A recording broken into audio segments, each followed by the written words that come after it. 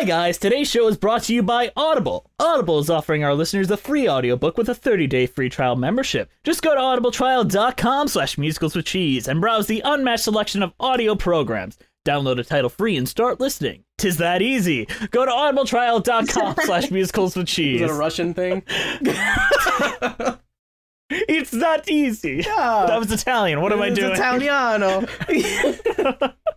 That's the whiskey and the pierogies. I'm gonna throw a huge special thanks to all our patrons on Patreon, which the current list is Jess. Go ahead. Um, Stephanie L, Uh, Terry Needleman, uh, Max Lunig, Benjamin Lehrer, Chris O'Kelly, Lily Ackles, Ackles, Danielle Renix, Mackenzie Horner, and Taryn the Duck. who is an actual duck.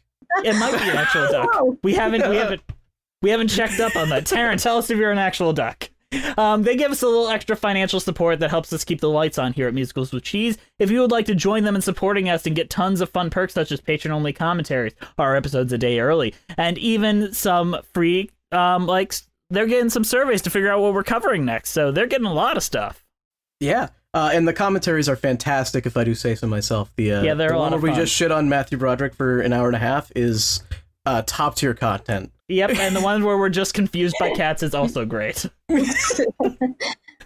All right. Um, you you want to do the link this time, Jess? Yeah, we have an affiliate link. Click it, buy stuff on Amazon, and we get money. All right, let's start the show. Hooray! Isn't it amazing how he just he turns that on like that? He just has that shill voice. Yeah. Like, I get it. Two sides to man. It's, Well, he's gonna- got. He literally. I have a video chat. He flips his head around. Oh my! g- Oh, he does like a Jekyll and Hyde type scenario. Yeah, like he his the back of his head is like an advertising uh, executive. Oh my god! You just flip your hair back and forth as you go from one to the other. It's this crazy. is not a dream, my friend. Audible is on TV.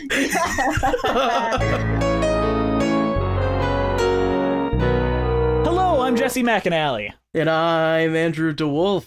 And welcome to Musicals with Cheese, a podcast where I try to get Andrew to like musical theater. And today we have a very, very, very special guest. Oh my goodness, the guest, the specialness of this guest is like through the through the roof, Uncontained. through the roof. Um, we have Hugo nominated writer, editor, and creator Angelina Meehan of um, many things, but most notably the Lindsay Ellis's content on YouTube, correct? Yeah, yes, that is that is absolutely correct. I once was an altar server. That was a notable thing. Uh, Ooh. and um, yeah, no, but yeah, that that's uh pretty much uh not pretty much, but like where the the bulk of my mm, creative output is right now. And didn't someone like credit you as like like Delaware teen or something? Yeah, Lindsay was in. Um, they were doing like a retrospective on her career for Wired.com, and they wanted to talk to me to get some perspective as her co-writer and co-editor. And I, I told them about how we met on fanfiction.net as teenagers, and that I was from Delaware originally, and that ended up translating to a fellow teen and Delaware fanfiction scribe.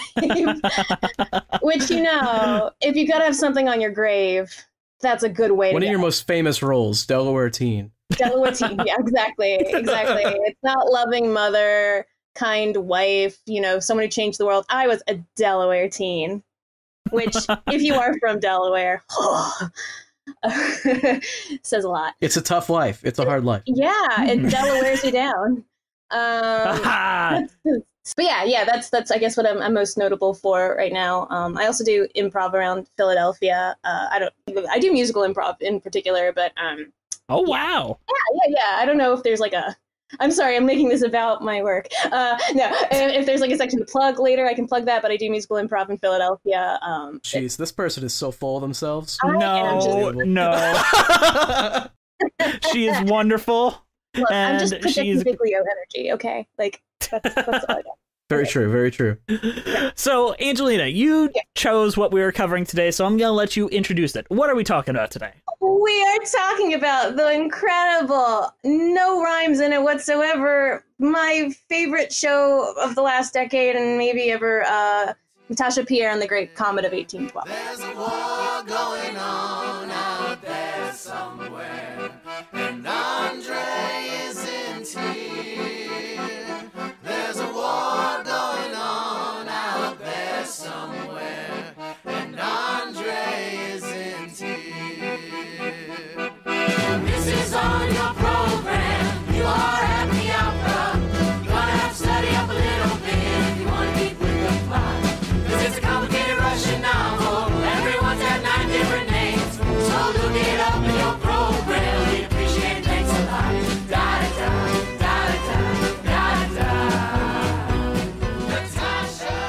Natasha Pierre and the Great Comet of 1812 is a sung through musical adaptation of a 70 page segment of from Leo Tolstoy's War and Peace, written by composer and lyricist Dave Malloy and directed by the incredible Tony winning Rachel Chavkin. Not for this show, though. It's based on Volume 2, Part 5 of Tolstoy's novel War and Peace, focusing on Natasha's affair with Anatole and Pierre's search for meaning in his life. Um, it, de- it was developed in the Ars Nova Theater in 2012, followed by a 2013 stagings in both the Meatpacking District and the Theater District of Manhattan. Um, it premiered on Broadway in November at 2016 at the Imperial Theater and subsequently closed in September of 2017 after winning not that many Tonys. So, yes, and we'll get into that a little bit later. so, what did you guys both think of Natasha Pierre and the Great Comet of 1812? I'm going to start with Andrew because I think we got a little sneak peek at what Angelina thought. but Andrew, you just got you just watched this for the first time. Oh yes, um, and I would highly recommend seeing it live if possible. I, mean, I don't know if that's possible anymore. It's playing it's playing in Japan, so if you're in Japan, If you're in it. Japan, go and see that because uh, trying to watch this with no uh, idea what is happening is was a nightmare for me. I had to listen to the cast recording about nine times while reading the Wikipedia articles to figure out what the hell was going on. uh, music wise, though, it's fantastic. Uh, uh, all all the music is very creative, and there's a lot of different styles, which I really liked. Um, and I don't think there was any song that I didn't like, and there was a couple songs that I really, really enjoyed. Um, so I think it's good, but holy hell was I confused. um, I I absolutely adore uh, the Great Comet of 1812. Um, I to the point where I'm like, you know, I'm just like five beers away from getting a Great Comet tattoo at any given point. Um, it's one of my favorite shows that I've seen. It was kind of one of those things that rekindled my love in theater after kind of I'm being on a musical theater dry spell for a while. And um, I, I think about it, I listen to it like every uh, yeah at least once a week. This love has not died um but yeah um I, I i don't know if this is the time to talk about it but like i had read war and peace when i was in college. That's not a humble brag. I literally had no friends in college so I was just kind of hanging out by myself. Figured i'd read war and peace and i had that context it's a very long book it's a super long book It's a bit Um, long, isn't it? but uh, I, I had that context kind of going into the show, but didn't know anything else about it besides like Josh Groban was in it uh, when I saw it. So, and I have, I have a longer story about my first time seeing it, but uh, I, I, I can talk about that now. Or let me give my thoughts and then we'll talk about how we first were introduced to this show. Oh, okay, Except for. Andrew. Except for me, because we all know how I was introduced. Jess sent me a link and forced me to watch it. That's the premise of the show. Listen to the recordings. Don't watch the don't watch the YouTube version. yeah. Of. I guess it's no secret that I love this show, considering like more than one of our guests has been like actors and performers and behind the scenes folk from this show. Um, it is obviously one of the most advantageous Broadway shows, at least within the last twenty years. Uh, there's nothing that I can compare it to. Um, not even within Dave Malloy's own work is there anything this advantageous. Honestly, I discovered it very early on. I think all the way back when they released the first album, just Mhm. because I troll through musical cast recordings, and whenever there's a new one, I download it immediately. Um, and I didn't understand it the first four times I listened to it, much like everyone else in the world. Um, and then, but I was just drawn in, especially by that opening number. Like, like by the end of that first song, you are sold on that show. it, it really hits you in the ass. It's just like, oh, I- yeah. So like, uh, like when um, I, was like when I first found it. uh, Yes. I, yes. Oh, it's okay. Cool. Awkward segue. Um, so I. I had first found heard of this show. I had heard of it like when I was doing its Ars Nova run, like just really, really offhand kind of knowledge. And I was like, oh, War and Peace musical. That's fun. And um, I remember it was 2017, and um, so very sad note, but like I, my my dad passed away when I was younger, so for Father's Day, I always usually kind of do something for myself. And 2017 June, I was going to New York. I was determined to see a Broadway show. Dear Evan Hansen had just won the Tony, and I could not get tickets to that. And I knew Great Comet was there. Had kind of wanted to see it. Bought a ticket just solely based on that. I remember putting my like butt in that seat, my ass cheeks like pancaked. The show started, and I was like hooked within the first like minute of it. I was like, this is it. I, I think I found my new favorite show. New favorite show. That's surprising that you didn't know about it before the Tonys. I mean, I had heard of it. Like, I'd seen Hamilton back in November, and they were doing um, like a, a fundraising for Broadway Cares Equity Fights AIDS competition between that and Great Comet. And so, like, I knew like about Great Comet. I knew what it was. Knew it was like with Josh Groban. But I was kind of, I guess I should preface by that first story by saying I'd gone through like a really bad, kind of like low personal point in my life. And right as I was getting out of it was when I saw Great Comet. So I have a very, very strong affinity for it um, in that sense. I mean, I'm very happy to joke and laugh about it, but it does have a very like very huge emotional pool for me, especially with like the theme of it, um, and about Pierre, like kind of being able to look at this comet and find and feel joy. You know, I was like, ah, oh, shit. I was sitting in the theater like, ah, oh, shit, ah, oh, shit, as like I got the feels. But um, yeah. I find that really like incredible, and I'm insanely jealous that you got to see this live, not just once but multiple times. Yeah, yeah. This is like the the show where I saw it, and I saw it with the original Broadway cast.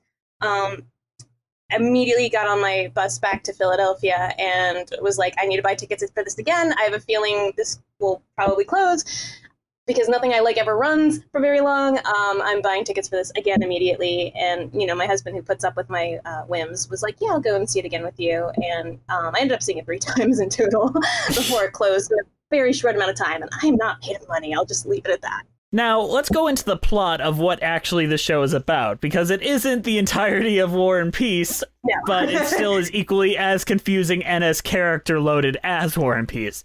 So, just for comedy's sake, I'm going to force Andrew to tell me what the plot of this musical is. fucking God. Okay, I would like to say that I think I understand the plot now. okay. It took a lot of times, but I think I get it. Do I have to go through every character? Because there's no way I'm going to remember them. Give all. me the broad strokes. Okay, the show can go through every character. Yeah, the show goes through every character really fast, but I don't. I'm not able to sing it that quickly. Pierre is like a depressed guy in Russia in uh well 1812, I would assume. um, and then there's also Natasha, who is a um, person who's a trying to marry a prince. I believe he's a prince. Mm-hmm. Andre, um, Prince Andre. Andre. Yes, and I believe that's a prince. And, and he she... isn't here. Yes, he's off at war, and he is also friends with Pierre. Fun fact: in the book, he is not off at war. He is just kind of hiding. Yeah. oh, cool. Uh, why? But okay. Um, yeah.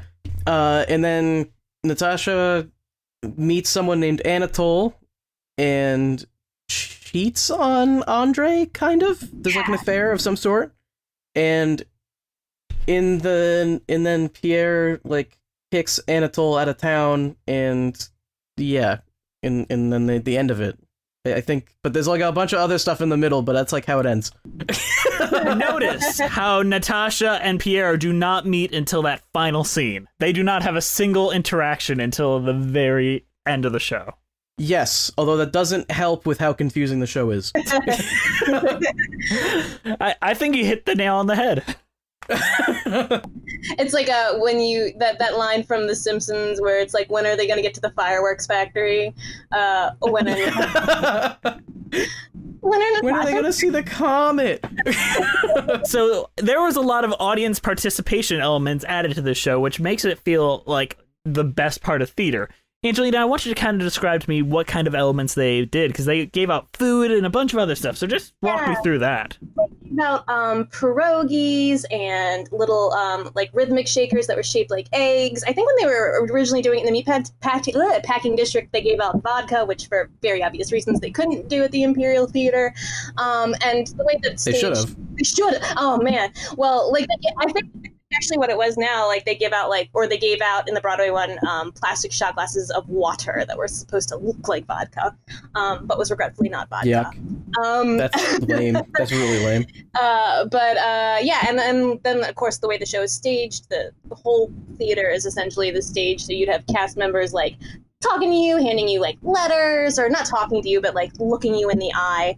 Um, when I saw it the second time, I was sitting front row mezzanine, and there's a lot of action that happens in front row mezzanine. And like at one point, I had a sweaty Josh Groban, you know, one foot away from me, like just shaking his uh, fat suit in my face, and it was just like it was one of those like surreal moments that you were like, I am. God, I wish that were me.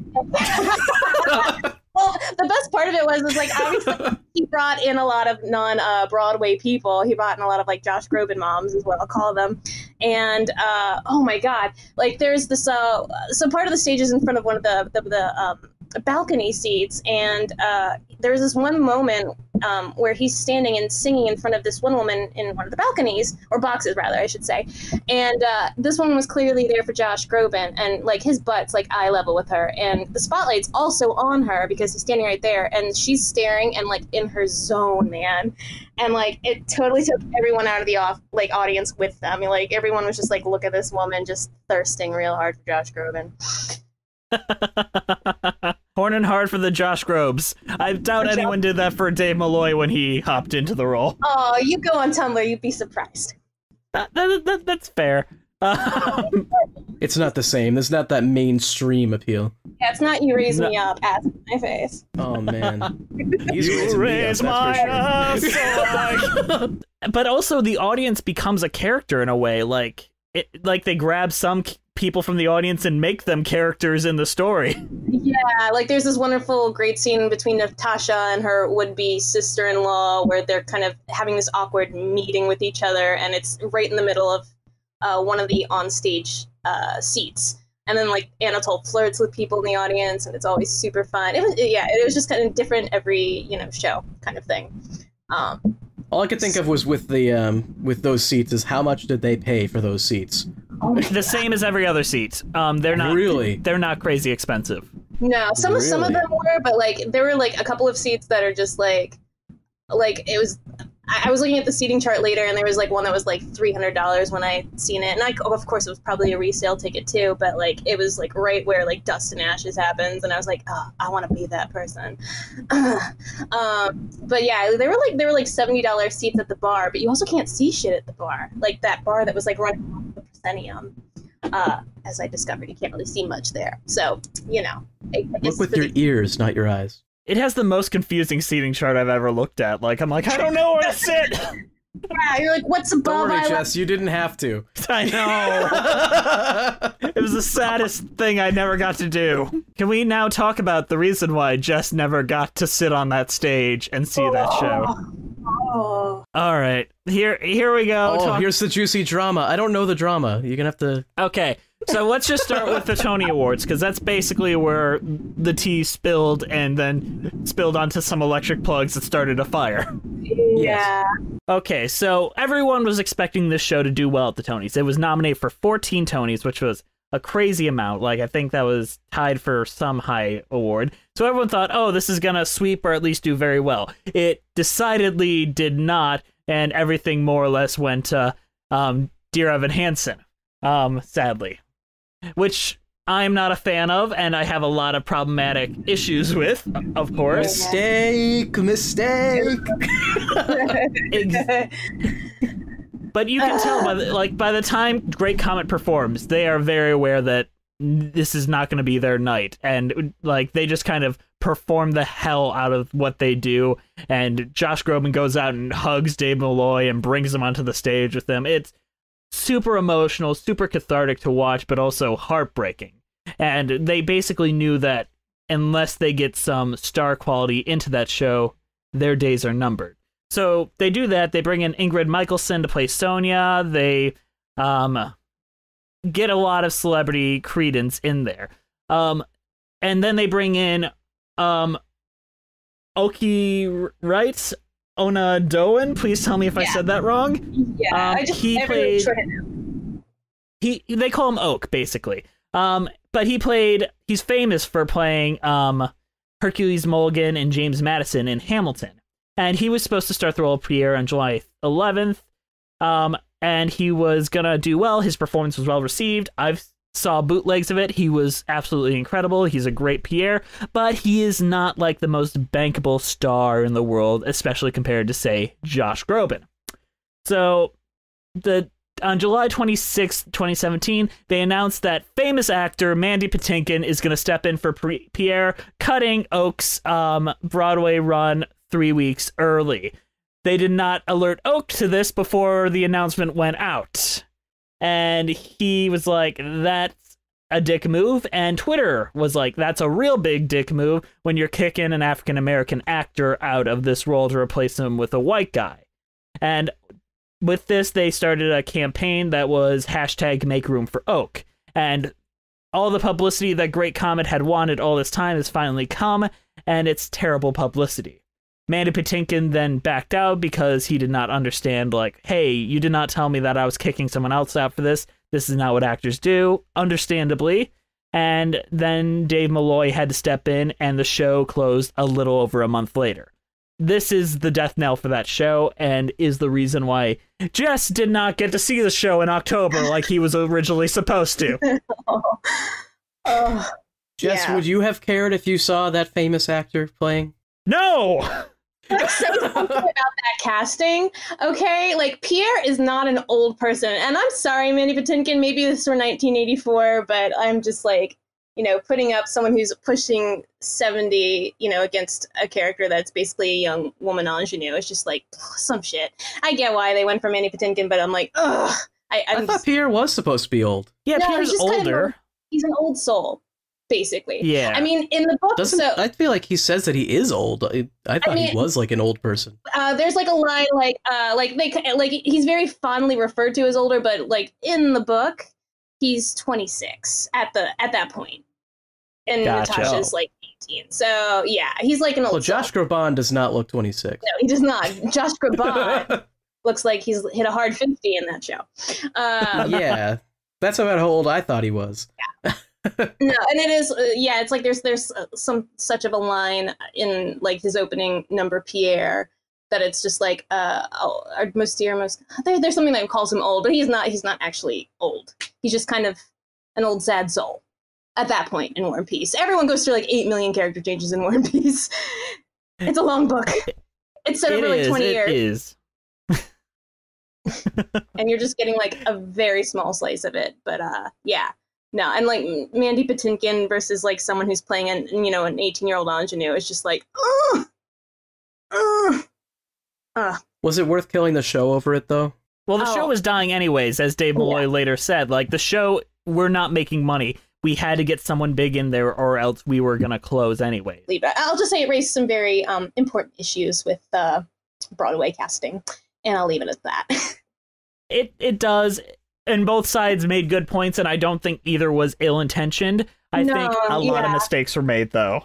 yeah, a lot of mistakes were made, and I'm very unfortunately, a fantastic show had to close before Jess could see it. Yeah, that, that- tragic, tragic. No one ever thought about asking me how I felt about a situation. they were all in a boardroom sitting like, well, Jess hasn't seen it. And they're like, I know, uh, the bottom Fuck line. 'em. And they're like, "God, yeah, fuck 'em." I'm so They sorry. had XX Jess World loaded up on their computer, and they're like, "This guy hasn't seen it yet." Eh, who cares? There is one comment I would want to make about the Mandy Patinkin thing before we never bring it up ever again. I regret every day that I will never hear his version of Dust and Ashes. yeah. I just, in my head, it just sounds all like finishing the hat. He he would do it in very high. He'd be like, "Is Yeah. this how I die?" Yeah. In this Mandy Patinkin way. Mandy You're like, It's like he was in the room with us. he's like, and I'm. Wake up now. I want to wake up. I'm ready. Love it. Oh, we we missed out, kids. All right, let's talk about let's chill. Today's show is brought to you by Audible. Audible is offering our listeners a free audiobook with a 30-day free trial membership. Just go to audibletrial.com slash musicals with cheese and browse the unmatched selection of audio programs. Download the title free and start listening. It's that easy. Go to audibletrial.com slash musicals with cheese to get started today. Today, I am suggesting a very light read. It's going to be a really easy book. It's War and Peace by Leo Tolstoy. it is narrated by Frederick Davidson. You can just get this out in the afternoon. It's a real easy read for like your. This is, a young, home. this is one of those young adult novels, right? Like Harry Potter. Yeah, it's just like the Fault in Our Stars. To download your free audiobook today, go to audibletrial.com slash musicals with cheese. Again, that's audibletrial.com slash musicals with cheese for your free audiobook. All right, folks, let's get back to the real show.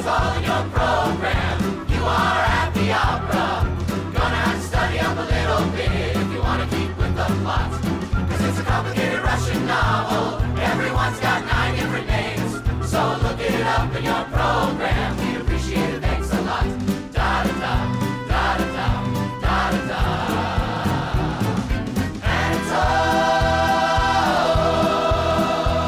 All right, let's talk about the prologue because this is like one of the most incredible opening numbers of all time. Yeah, yeah. Angelina, tell me what it's like to see it on stage and just your thoughts on that opening number. Um, so yeah, going going in not knowing anything about it, um, but also being a fan of War and Peace, uh, like when you kind of catch on to what the conceit of the song is, and you're kind of like, this is fantastic because it's literally just like, hey, you dum dums, we know you haven't read War and Peace. We're gonna make this really easy for you so we can get to the fun stuff, which I really appreciate. I love that in any piece of media where they're like, let's get the hard stuff out of the way and get to what's really interesting about the characters. But basically, they're just going down. It's like a 12 Days of Christmas of angry Russian nobles, essentially, where uh, everyone's kind of introduced and given like one real defining character trait about them, and that's kind of like your handy Pokédex of navigating War and Peace. Exactly. And they also give you a Pokedex, a literal Pokedex in the audience, don't they? it's like, ah, number one, Pierre, he's a psychic type. Ooh. and if you actually look at Dave Malloy's like Spotify, he has like a list of song inspirations for each song within the show. And like 12 Days of Christmas is definitely among many other songs in here.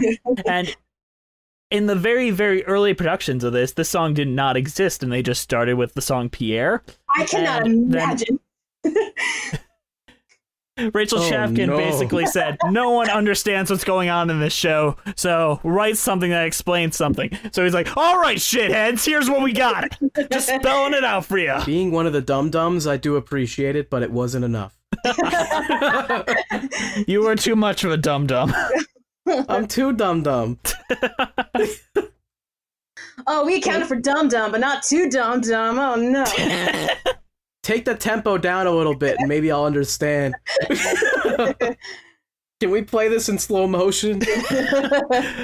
But not only does it like tell like each character, it also sets up the tone perfectly. Like, yeah, we're gonna break the fourth wall. We might talk to you. We might interact with you. It's gonna be big. It's gonna be bombastic. Get ready, folks. I think it's like that the opening of Cats if it weren't people dressed in uh, leotards, and uh, you didn't have to understand what a fucking Jellicle cat was, but rather, uh, you know. well, you can't understand what a Jellicle cat is. It doesn't exist, as far as I'm aware. oh, how dare no! Sir, you are talking to a Jellicle right now. We're all Jellicle Russians. We're all Jellicle Russians. Because Russians can can yeah. Uh, Natasha, you gonna go to the Jellicle ball? yeah. Um, I don't know if you know this, but Great Comet ends with Natasha getting on the comet as it rises up from the stage, just like an. so oh, when the day's hustle and bustle is done, Anatole's work has just begun. So this show is just. Now that you put it that way, it all makes sense. It's just cats. yeah, it's just cats. It's a bunch think of Dave Russian Malloy would- Actively get mad at us for saying it's just cats. It's just cats, but with Russians. Yeah, it's cats set in Russia in you know 1812. Something That is about a plot. Yeah, that's the plot. you know what Tolstoy was like? I really like the show Cats. How can I make this into my own thing? And then he went a little bit revisionist with it, just a little Yeah. bit. A little bit. He's like, oh, Cats is an IP now because you know really useful group trademarks everything. I'm just gonna like do a fine replace of Munkustrap's name with Pierre, and uh, we're good. Anatole is just Rum Tum Tugger. You're right. Oh my god. Ah! Natasha does have like a Grizabella fall from grace. Yeah, oh she my does. god, it's just cats, guys. Or is it a cat's War prequel? and Peace. Oh, War and Peace is just cats. oh. Uh, oh my gosh, Balaga is Skimbleshanks the railway cat. Oh my goodness. Oh, it all lines up. If this were Oh if this were a video, you'd have to cut to that shot from It's Always Sunny in Philadelphia of like the of the cork board with like all the connecting files and like It's just cats, guys. It's just cats. It's just cats. Dave Malloy, we figured it out. Tell us right now, and we won't tell anyone else. Give us some money, and we won't reveal your secrets. I was reading this book, War and Peace. It's just cats. Oh, it's just cats. All of it. you pull off like Dave Malloy's face and it's actually old Deuteronomy and you're like, what the fuck? Okay, I like the prologue. It's very it's a very fun song, and I like that they try to explain it because they realize that the show is really fucking confusing. yeah. Um I just wish that I had the little the little Pokedex card that explains everything else to me when I'm in the show. Because once once you get through like four different songs, I forget everything they said in the prologue, and it's oh no. Oh, oh no. Oh, oh no no. there's there's a Maria and a Mary. They Oh, I remember who the crazy guy was, but we're past the crazy oh, guy, yeah. and now it's now I'm lost. oh. But Andre is also Andre's father? What? it's like a it's also uh not only is great comet uh cats but it's also psycho where uh yeah it turns out that he is his mother um and has killed everyone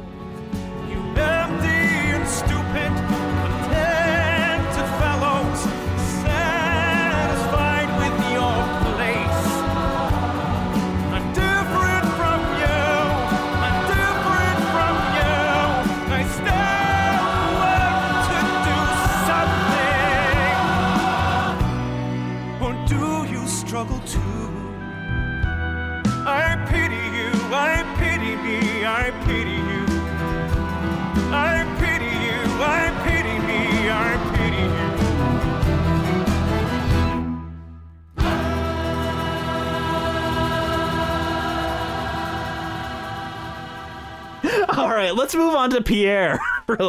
oh pierre is like that song it's like the poem or like the live journal entry you write when you're like a junior and you're convinced of your own brilliance and you're like oh i pity those sheeple that are listening to britney spears. I listen to avril lavigne Yeah. yeah. So I mean, he basically says that when he says, I'm staring at my screen, which is a real anachronism, but it somehow fits. It works somehow. When I first saw it, I thought he said hours at my screed, which also works, but I, I, I like the hours at my screen.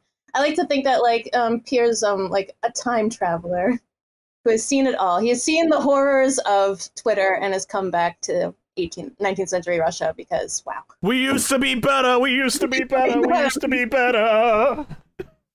We were never better. Come on.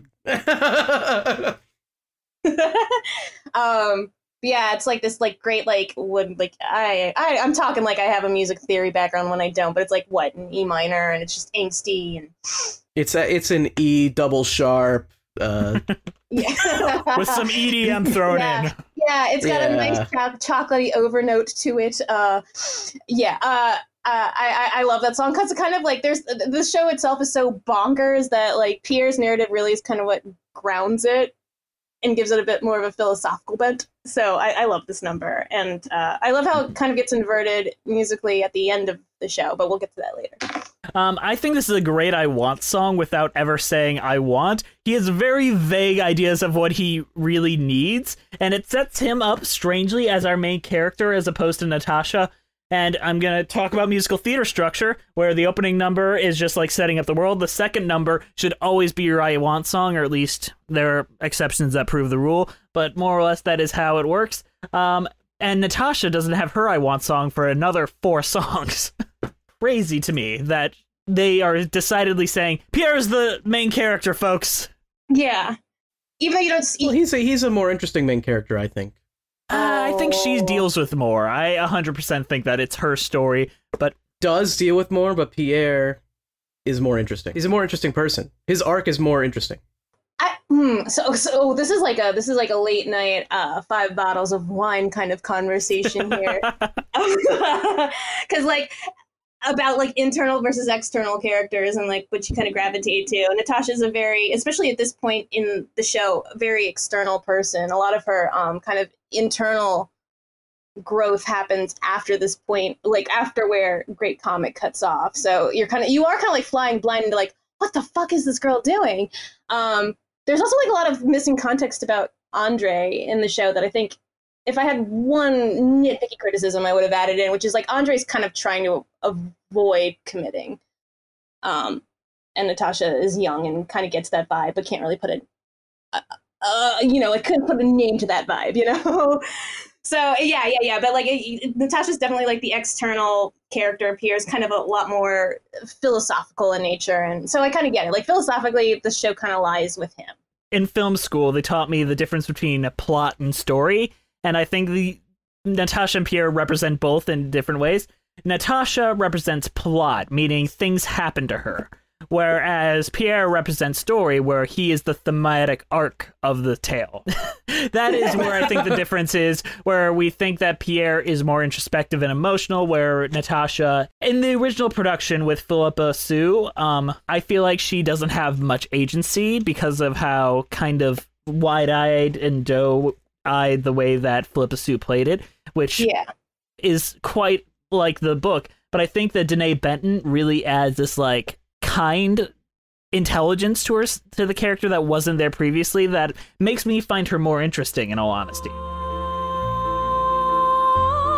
Oh,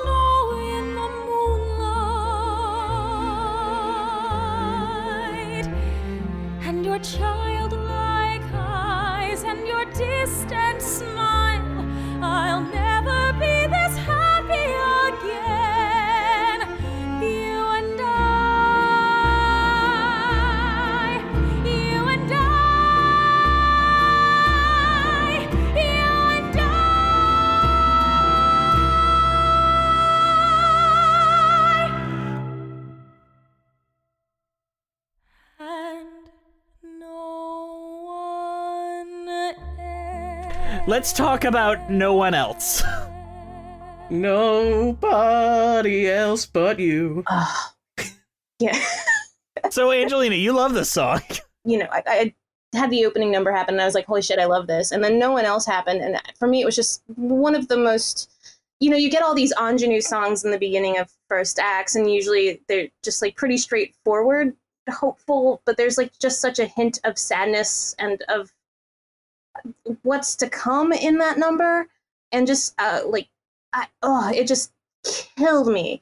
Um, I sang that song to my daughter every day while I was pregnant with her, and it's just like, oh it's it's one of my I, I you yeah, but it, yeah, I just love how the foreshadowing of like things will not be as Natasha expects, and even after the show, like uh, she'll never be that happy again. There's this line like, "I'll never be this happy again," as she sings about Prince Bolkonsky, who she's engaged to, and you know thinks she's so in love with, and yeah, yeah, she even says at that point like, "I'll never be this happy again," and it, to me that is just like such a uh, it hurts my heart. It hurts my heart. Yeah, I'm with you all the way. And this is the first time like you can really see how good Dave Malloy is at translating like written text to like song and making it sing. Um, like first time I heard your voice, "Moonlight burst in the room," is basically taken from Tolstoy directly, and the quote was, "Moonlight as if it has been watching at the window a long time, waiting for that burst into the room." Like that.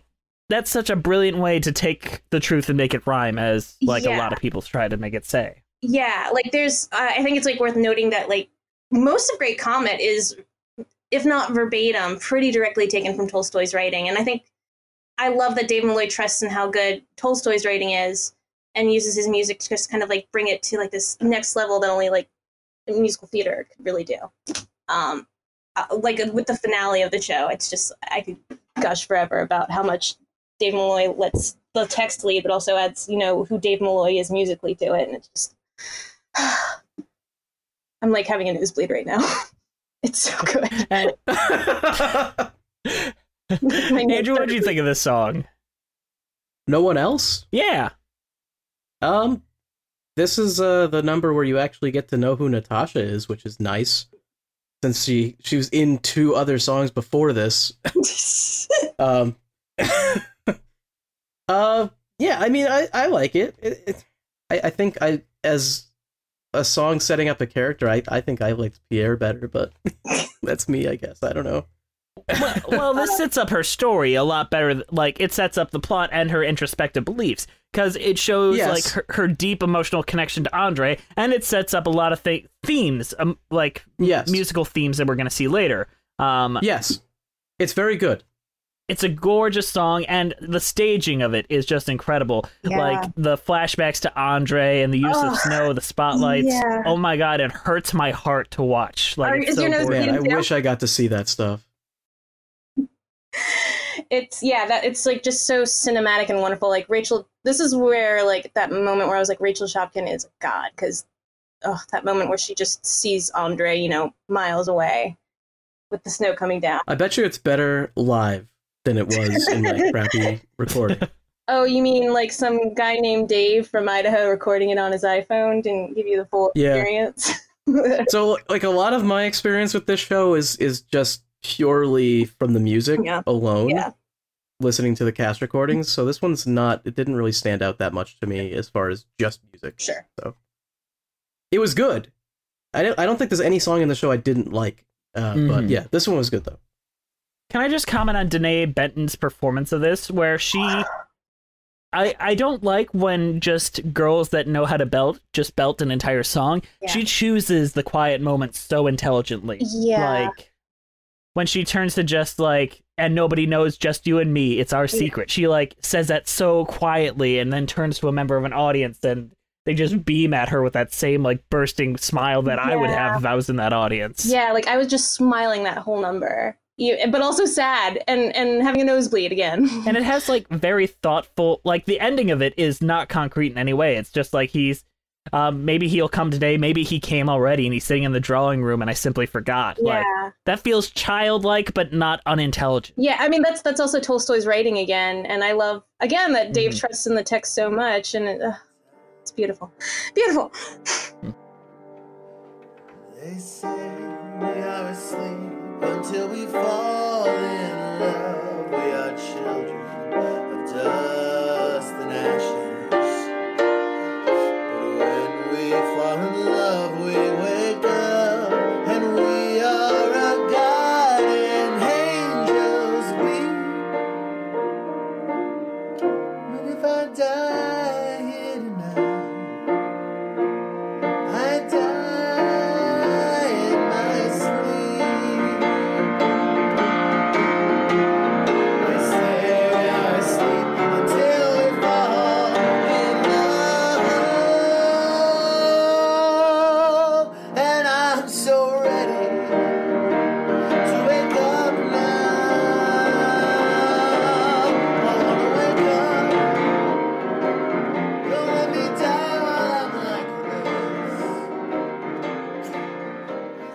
let's move to dust and ashes Ugh, ugh. I turn to a grandma at this song. Like I'm just like, oh, isn't that sweet? Oh, oh my god. I think I like I like the idea of the song the best as far as like lyric quality and uh, what what the song's about. Yeah, yeah. Well, i find it funny because this was the last song written for the show Right. like in the original original album this song did not exist it was written especially for josh groban yeah, and that as someone who didn't come to the show until the Broadway version, that kind of blows my mind. Like Dust and Ashes feels so central to necessary yeah driving the show um then no offense i can't see I- i'm sure great comet was incredible of an experience off broadway but it's, i can't imagine the show without that song So what would even happen? You just have the duel and then it just that's it? Yep. They just move on to the next scene, which I believe was just Natasha waking up the next morning. That would have just been so lame. yeah it's like oh well here's a duel you failed um now let's go to natasha's bedroom where she just wants to go shopping Yeah. That's the obvious conclusion of Yeah. that scene. You know I'm not gonna lie, it's baffling because I fell in love with the show before this song existed, and quite often when new things are added to a show that you already love, you're not a big fan of it. But this is like, okay, that's in. Come on, bring it in. Bring it in with the rest of it. It works. Is- yeah, I yeah yeah like I always have to wonder what it was like. You know, hearing that song for the first time is like, um someone who loved the show? Is it like back in like 2004 when I have to listen to uh, No One Would Listen, which was written for fans? like I, I imagine You mean the classic Gerard Butler bop? yes. Just uh, you know, it's a sad Saturday night. I'm gonna put on No One Would Listen uh, and uh, cry my uh, sorrows away. Yeah, I, I imagine that listening to Dust and Ashes um, as a fan of Great Comet before the Broadway run was the same experience as listening to No One Would Listen uh, right before the 2004 Phantom came out. Same exact experience. Um, but yeah, that was a oh my gosh, it, you know, it's a goosebumps moment on the cast recording, but when you see that like live in person, when it gets to that a cappella moment towards the end where the music cuts out, it is just like. So like I had mentioned that I had seen the show after a really bad time in my life, and the one of that big line is like, "I- "I'm so ready to wake up now," and it just. Oh, when the tempo picks up, it, I remember being like, "Oh fuck, I've been read for filth. This show has seen me." Um, and also Josh Groban singing in a fat suit. Da. Well, yeah, yeah. yeah, yeah. That's the takeaway. Uh, uh, but yeah, um, just such an incredible song. Um, one of those things that I'm mad that most karaoke places, m- most by most I mean all karaoke places don't have it, because everyone would want to listen to me. I would do great karaoke of this very, very drunk. Yeah. I'm sorry. I wake Oh, up now. wake up now. sorry, I wake up now. I don't deserve life long. um, but I love how there's like three sections to this song. Like, it's like a mini story in its own.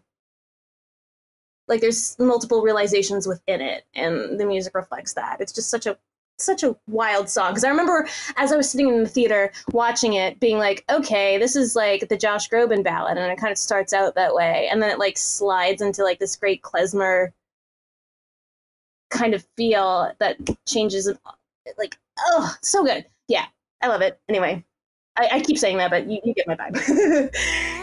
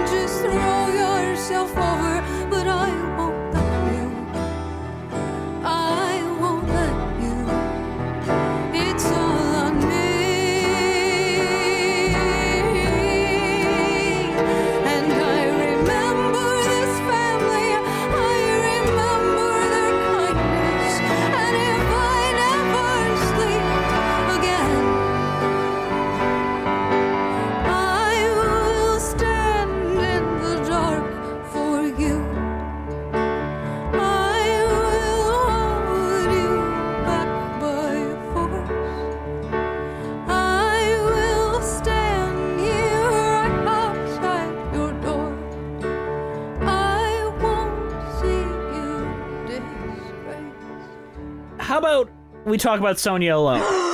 Ah, um so good uh it's like that we oh Sonia's like one of my favorite characters in War and Peace, and I, I, there's like such a great pathos to her because she's the character that just like never gets what she wants in throughout the book, like n- gets nothing and is just selfless for for for better or worse, you know, never to her betterment. So to me, like it's like such a good devotion song to a friend when you know that they're gonna fuck up really badly.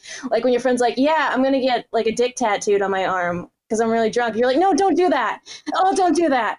Uh, Sonia Alone is that. I think it's the female equivalent of Michael in the bathroom for Be More Chill, and a much better version of that song, I, in all I agree honesty. with that. Yeah, It's a platonic friend It- song. it- I mean, it's it's the same. It's the same exact like Yeah. sentiment. I I love it. Like, um, I I also a lot of it's just kind of um um, uh, Brittain Brittain Ashford's Ashford. just like kind of you know very um particular voice. Like, specific. I will protect your name in your heart. It's just like, it sounds like I'm mocking her, but it's just, it's so singular and wonderful that like, I, I don't, I never saw um Ingrid Michaelson in the role. Yeah, but to me that's like, She sounds very much like she's doing a Brittain Ashford oh impression. gosh, If and it's Yeah. I think it's like almost written in a way like somehow like Jean Valjean and Les Mis. everyone's Every Jean Valjean is doing a Colm Wilkinson impression Yeah. somehow.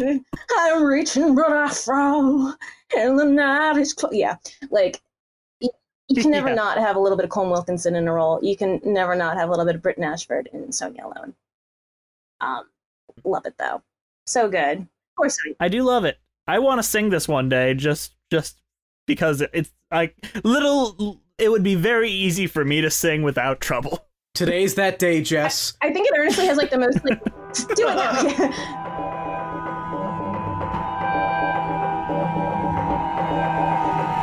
You shameless, good for nothing, you vile, shameless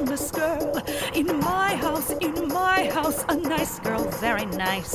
You dirty, nasty wench of a thing. Now don't you say one word. In my house, in my house, horrid girl, hussy. It's lucky for him he escaped, but I'll find him. Now you listen to me when I speak to you. Now you listen to me when I speak to you. In my house, in my house. Do you hear what I'm saying or not?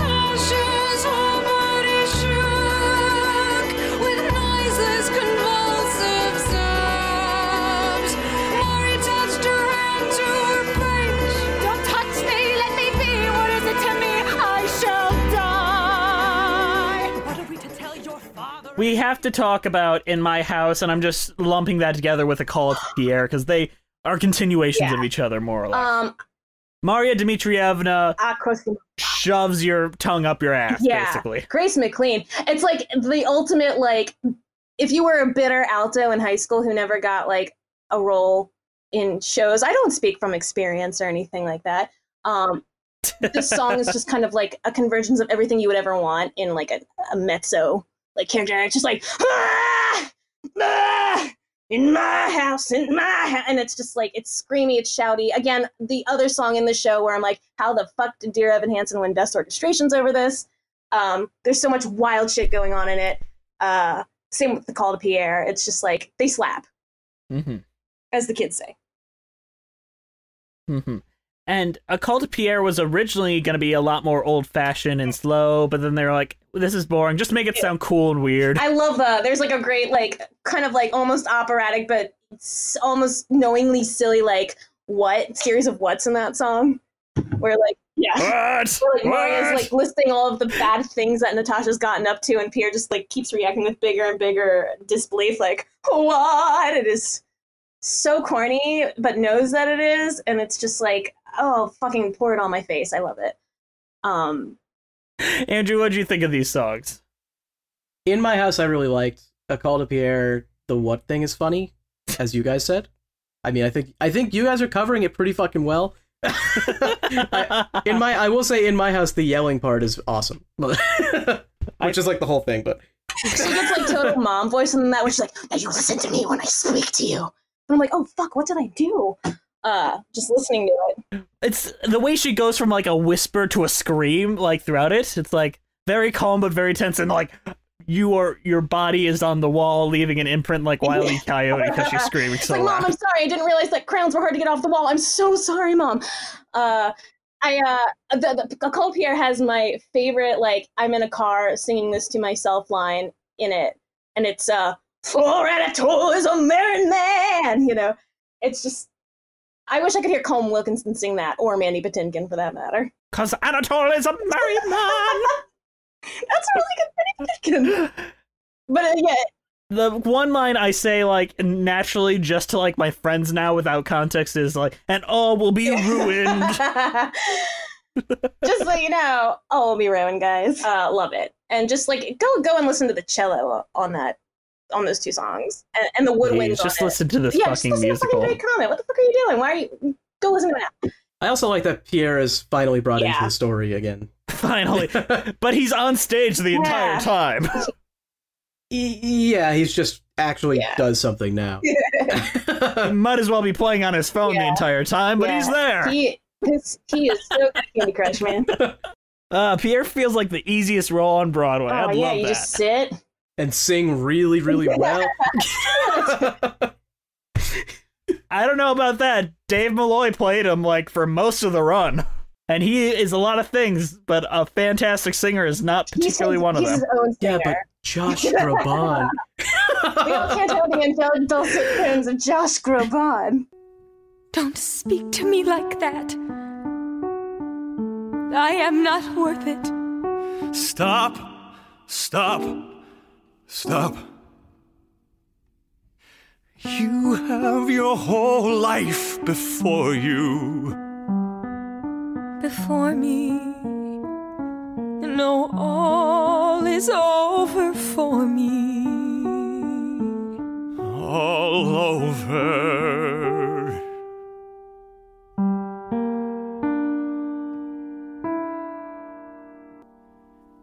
If.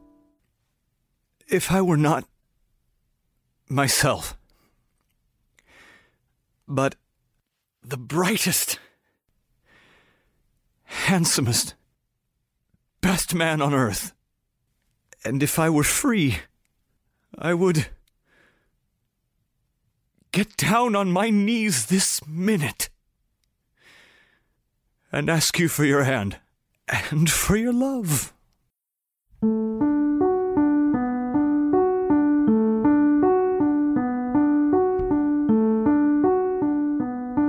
Let's talk about Pierre and Natasha. so good. Um, again, Okay. Um, I loved Pierre and Natasha because it's basically just the same piano riff throughout the entire thing. it's it's really like um a, an actor song because it's the same piano riff and it's just straight up. It, it is literally straight up the dialogue and the describing action from War and Peace, and it, all of that really just rests in the heart of the performers and the two the chemistry that these two people have with each other when they haven't interacted with each other the entire show. Um, I saw it with Josh Groban and Denée Benton, and I saw it with Dave Malloy and Denée Benton, and both times, or all three times I saw it, it just oh you, you could you could hear a pin drop in the theater throughout the entire thing. So it's which is really impressive because it's a quiet song. It's just the same you know riff repeating over and over again, but like I didn't breathe every single time I saw it. Um, and so it's just like you know Natasha's basically hit like her lowest point. She's you know had a failed suicide attempt and has disgraced herself and Andre goes up to his bro Pierre and is like, "Yo, go tell Natasha off, bro." And Pierre's like, "Sure." And then he gets there and it's just overwhelmed with so much feeling for Natasha that you know he can't be a dick to her, and it's it's so beautiful.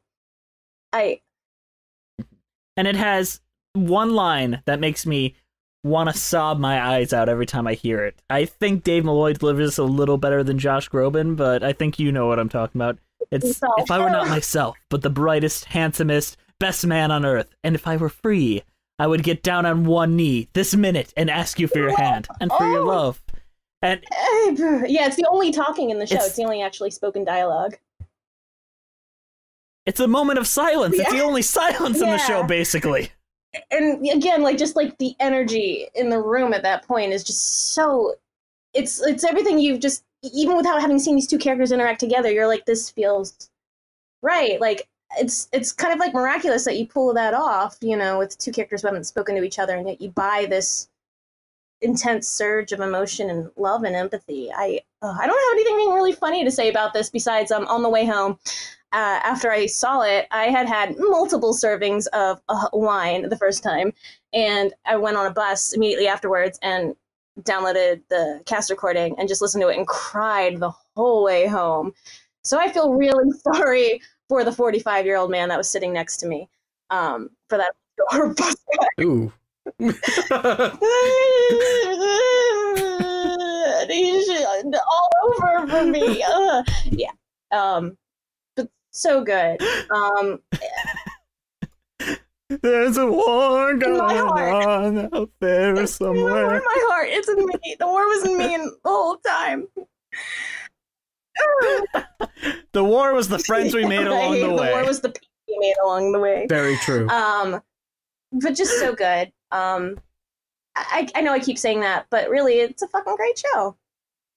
I, I don't have anything really terribly funny to say about this number. It's just incredibly. It seems to me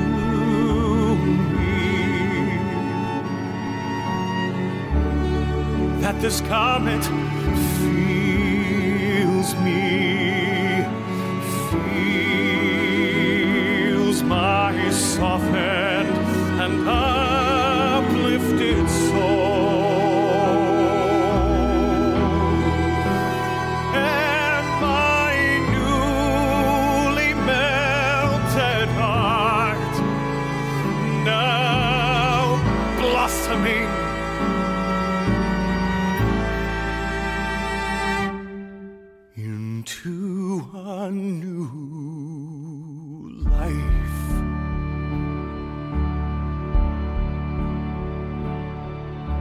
Okay, let's move to a hilarious number, The Great Comet of 1812. Andrew, I'm gonna let you start with this one. This is really good song. I love it. I don't really have much to say. Everything's so fucking good.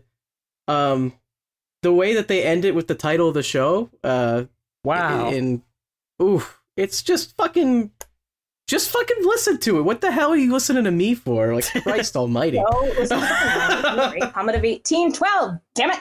Um, it does have, If you're listening It's to any good. song that will get you into it, I recommend actually, this, this, one. is the song that I, I give to people when I'm like, hey, you want to hear a song from the show? That's great. Um, it's it's, mm. and I, I love this song because it. I like that the show feels, you know, empowered to end on an immensely quiet internal note, as opposed to be like big finale of the show. It's instead like this very quiet but powerful emotional catharsis, and it's just like the lights get dimmer, and it's just, you know, Josh Groban emoting to the void, but it works really well. Um, I couldn't like see through my tears the first time I saw it. I was like, "Oh fuck, I'm crying." It does have one of my favorite jokes in the whole show, where you know Pierre just left Natasha's house, and he can't put on his coat.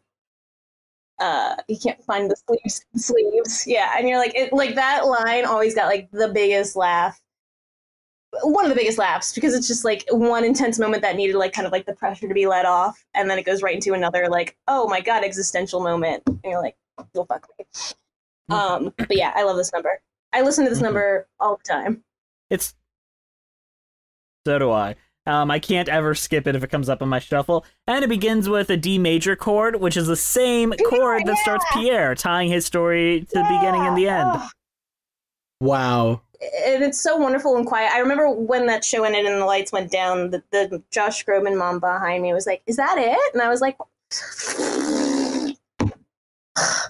um Is that it? Was that the end?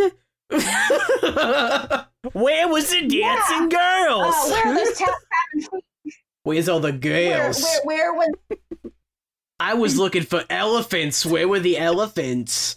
yeah, okay, Cersei, shut up. uh, I was told there was going to be a comet in the show. I got a chandelier. There was no 10 year old girl singing to a dog, which is how I judge every Broadway show that I see. So it wasn't Annie, and uh, was that it? Um, yeah. the logo of it looks kind of like the Muppet Show, though. Okay. I. Oh yeah. Okay. So if if okay, so Great Comet isn't just cats, but it's also the Muppet okay, so Show. if this was a Muppet version, if Josh Groban would be Pierre, who would be Natasha? Uh, Miss Piggy. Miss Piggy, Miss Piggy, and Andre would be Kermit. No, no, no. We all know that Anatole would be Kermit. No, that's not okay. No, be only because I now I must go off to Petersburg. Look, all I know is that Balaga is sweet, All right. and if you got a problem with that, you can step the fuck off. Da da da da da da da da da. and Bolkonsky is animal. Bolkonsky is animal. I can see this Uh, working. It's time to watch the comet. All right, guys, the Great Muppet Show of 1812. oh, waka, waka, waka. I think this should be a new recurring segment on our show. How would we Muppetize this musical? I, it seems as though it already is. It's time to make the war now. It's time to find some peace.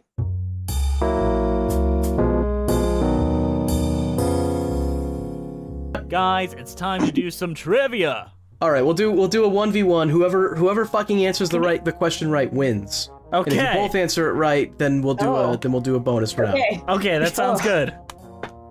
Okay, so first question: the consistent understudy for Pierre throughout every run Oh. of the show's life. I, can I go? Or uh, is, is it Scott Stengberg? I'd give I it to her.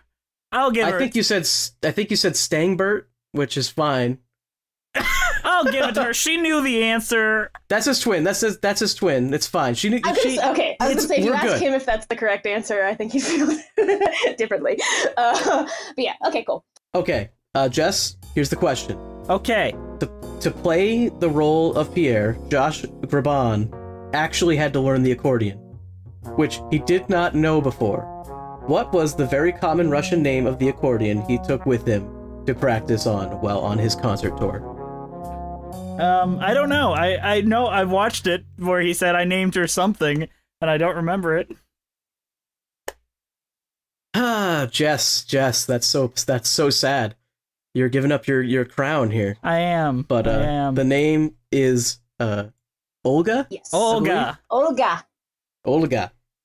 Well, Angelina now owns this podcast, and I am resigning. I hope everyone likes Congratulations. 30 hours of me talking about cats. They do. Yeah, they really do. You It's know, a sad everyone thing. comes under. It's a curious cat. Uh, Oh. It's true. He is. that's his only characteristic. Well, he also That's the only characteristic as he has. He's a cur- he is a curious cat. Well, he will do do as he do do's, which is my favorite line in any show ever. You know who else do do's as he do do's? Audible. Uh, today's show is brought to you by Kill Audible. yourself, Jess. Audible is offering our listeners a free audiobook with a 30-day free trial membership. Just go to audibletrial.com slash musicals with cheese and browse the unmatched selection of audio programs. Download a title free and start listening. It's that easy. Go to audibletrial.com slash musicals with cheese. Well, that was a lot of fun, you guys. I'm going to let you guys talk about your overall thoughts on Natasha Pierre and the Great Comet of 1812 and your cheese ratings. I'll go first because I have probably uh, not as much to say. Sadly, I didn't get to see this show three times live, um, so I don't have as strong of an opinion about it. um, I think the music in it is absolutely fantastic and super original. And I don't usually say original as a compliment, but with this, I've never really heard anything like it. Um, so yeah, it's great. uh, the story's a little hard to follow, but it doesn't really matter that much because the music is so good that you could just kind of listen to it anyways. Um, and then as far as the cheese rating goes, I am probably just gonna give it a Russian cheese of some kind. So I will go with whatever Jess goes with because I'm sure he has a great answer. um, all right. Uh, Natasha Pierre the Great Comet of 1812 is a musical I hold very dear to my heart. I love it so much. Um, I will never turn down a chance to listen to that album because it is a ride from beginning to end. There is not a single dull moment in it. There's not one thing I would change about it. It is the definition of a perfect thing. And I am very glad it exists. I am sad I never got to see it live, despite me almost getting to. Thanks, Mandy Patinkin. but it is incredible and everyone involved is so far like we've interacted with them. They're all genuinely wonderful human beings too. So that also makes me very happy. Um i will give this uh tilsit cheese which is from the russia. Um self-stick As I said, guys, he great pick, Jess. That's what I'm going with as well. all right. Angelina give us your overall thoughts and your Um, cheese rating. I think Natasha Pierre and the Great Comet of 1812 is one of the most innovative, passion-driven pieces of, of, of art to have hit Broadway in, in the last 20 years. Um, not only as an original work is it incredible, but it's also a wonderful example of how adaptation doesn't have to be like, you know, Shrek the musical. Uh, where it's hyper literal and just doing it for the sake of doing it. It is an adaptation made of love. Um, the music isn't like anything else I've ever heard. Everyone involved with it is just uh, just magical and talented. It's literally a show that has uh, kind of defined my 30s for me. Um, please go listen to it. Just do yourself a favor. Even if it's confusing, you'll be happy and confused. Um, my cheese rating is some sort of a Roquefort or Stilton. You know, it's a little funky and weird. It's not the kind of thing I think that most people would originally go out for on a cheese plate, but it grows on you, and once you have experienced it, nothing else really tastes the same. angelina i know you do a lot of things but i want you to shill it out there for the world so everyone can find you because Oh, you're incredible You guys are incredible. I had so much fun. Um, so I am, uh, as we as we mentioned earlier, I'm co-writer and co-editor for Lindsay Ellis. Uh, we will be having a video on uh, Game of Thrones coming out uh, this week. So if you just Google Lindsay Ellis, you'll get her YouTube channel and you'll see it. Um, I also do improv musical comedy at Philadelphia Improv Theater with the musical team Thank You Places. We do an hour-long musical made up on the spot. It's every Saturday night at 8 p.m. and it kicks ass. Uh, that's all I got. Quick, think of a musical right now that is about Russia but not Great This Comet. is cats in Right Russia. now on the spot. This is cats in Russia. We don't fly up on a tiger. we fly up on a. You go. Yeah, there you go. Uh, uh, that, that's all I got. We're all Russian cats. We're all Russian cats. Thank you guys for listening. This was a great show. We hope you guys will keep listening. Since we know you have your phone in your hand right now, why don't you just hop onto iTunes and just give us a review? Give us five stars, tell us how awesome we are, or tell us how terrible we straight are. into it. Just just just tell us. Um, also, find us on iTunes, Spotify, Stitcher, and all other podcast formats, including iHeartRadio, which is a weird one, at Musicals with Cheese. We're on Twitter at Cheesy Musicals. Give us some money on Patreon. Uh, Musicals with Cheese. We're gonna have a bunch of commentaries this summer. Um, they're allowed to vote on what they want to commentary on. I saw that there's already a bunch of votes in. So come on, give us some money and you can be a part of the creation. We're gonna be doing some more live streams. Some of them are patron only. Some of them you can join in, but you want to be in the patron only. Um, we're on Instagram at Musicals with Cheese. Our YouTube page is also Musicals with Cheese. Send us an email at musicaltheaterlives at gmail.com. We've been loosening up in the emails. Come on, come on, tell us what you think, folks. Our title card is created by the amazing Jolene Casco. Her Instagram is at Jolene Casco. Andrew, t- plug your album. Oh yes, uh, my band, thanks with an exclamation point, is now on like pretty much everything with a full EP of seven songs. Give us a listen if you want to. I don't sing, thankfully. I'm on bass. It's pretty neat. I like it a lot. All right. Do you guys have anything else you want to say before we wrap it on up? Great Comet was robbed there. Yeah, I would agree, considering now now that I've listened to it and I've also listened to Dear Evan Hansen. Absolutely, it was robbed. Um, I'm gonna say fuck you, Mandy Patinkin. And all right, we'll see you next time on Musicals with Cheese.